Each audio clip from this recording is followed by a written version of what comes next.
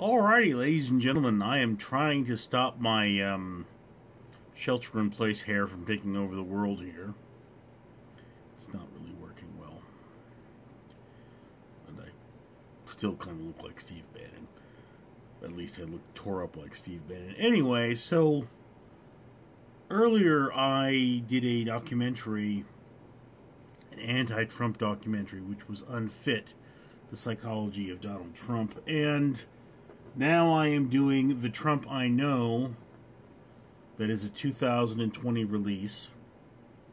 This is a pro-Trump documentary. Okay. Now, before I go into that, let me remind you all that uh, for every thousand subscribers I get, I purchased a bracelet from the company 4Ocean, and 4Ocean will pull a pound of trash out of the ocean for every bracelet I buy. So, there are other things to buy, but their t-shirts don't exactly fit me. I'm a bad American. Anyway, so the Trump I know is primarily composed of interviews with people who work for Donald Trump. More specifically, women. His son Eric is in there. Uh, Don Jr. is not very in there. Don't see much of him. Uh, no Ivanka, but a little bit of his wife, but she doesn't make any actual appearances. And then they do an interview with him. So, yeah, you know, I would have to point out here, you know, that yes, these people are saying, hey, he gives opportunities to women, which is commendable.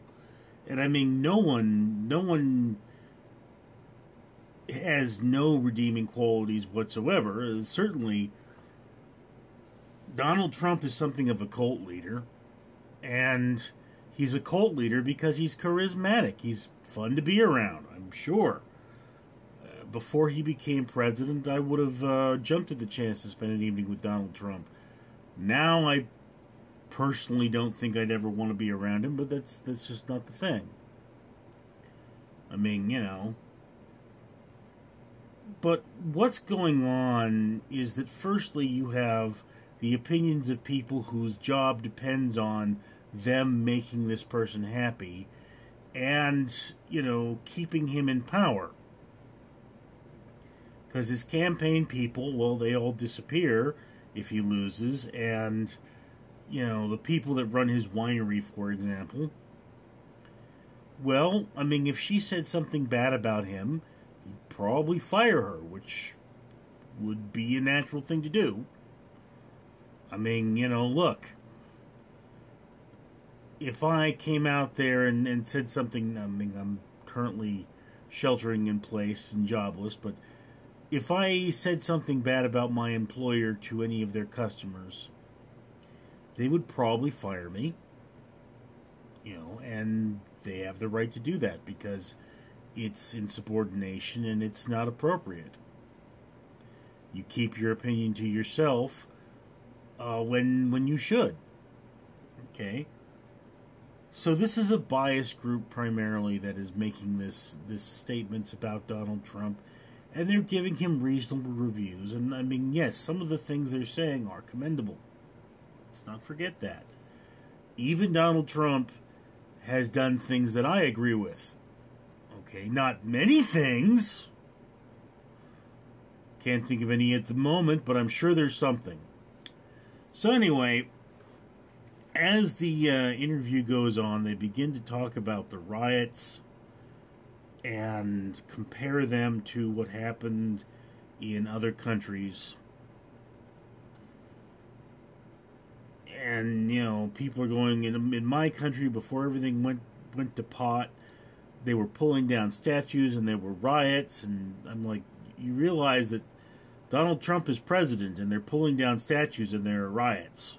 So that's not a glowing endorsement there. But what you have is a lot of loose information. Okay. So all this loose information doesn't amount to much. I mean, yes, it doesn't matter what you do, if there's enough instances of a thing, there's going to be bad situations or there's going to be good situations. I mean, you know, look at, uh, you know, the communist countries broke down, and I'm sure there's there's plenty of bad things happening because of the breakdown. You know, it's not uh, exclusively a good thing, but that word that keeps getting thrown around is socialism. Okay. And when you start breaking down what does socialism mean to this country, it's an argument over health care, which is never brought up in this in in this documentary. And I have to point out, you know, that we're the last major country on earth that is not providing our people with health care. It hurts small businesses that we don't do this and helps big businesses that can, quite frankly, afford to spread the cost out over their, their major major industries. And I mean, you know, I'm very sure that at least in part I lost my last job because they didn't want to pay for my health care. So this this video that says, you know, in a very, very, very, very roundabout way that we shouldn't have universal health care is a little little offensive to me. You know, otherwise I don't think a documentary is going to show the real Donald Trump, nor is an interview, nor is anything. I mean, if you went out there, there's a particular kind of psychology psychological study of a personality where you take all of a person's writings and all their tweets and all that sort of stuff. And you look at it and you analyze it and you you you find reoccurring themes. So yeah if we did that for Donnie it wouldn't paint a very flattering picture. And I mean you know just because you you employ women I mean yes, he does that. And the statement here is not only does he employ them, but he respects them. And they also say that he's not a racist because they do show that he employs people of minority. They show that. It's very clear. He employs people of minority. This is not a question. But to paraphrase, um, what was his name? The Mooch, you know, I forget his name, but he worked for Trump for about a week. The guy says, "Look, Donald Trump is not a racist. He's just an a-hole. Treats everybody badly. You know, if you're for him, he treats you good, and if you're against him, he treats you bad. Got no loyalty." So, yeah. What does this say about the documentary? If you're not pro Trump, you're probably not going to enjoy it. I have to say, it was kind of dull and airy, and it did not give me a lot of hard facts that I can add to my repertoire here. It doesn't say anything that Donald Trump has actually done. I mean, I'm sure there's something.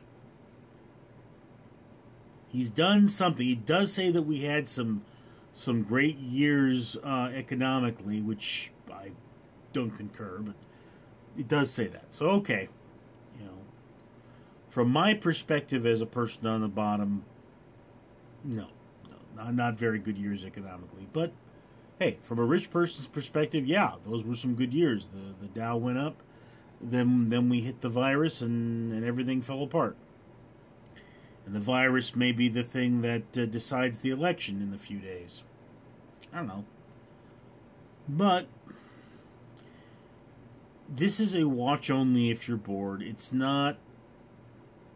If you're a Trump supporter, I would put this high on your watch list. If you like Donald Trump already, definitely go watch this video because you're going to enjoy people saying good things about him, right? If you're not into that, I mean, you're, you're going to be bored because it's not not really going to change your mind. Anyway, that's my opinion. Love to hear yours. Comments below. I'm Richard. Greetings, capitalist pigs! I am cannot see the blood of my enemies Borgoth, reminding you to like and comment on this video. And you can find more of me on the Power Sister Horsies exclusively on Absurd TV. Directed by Mark Schaefer.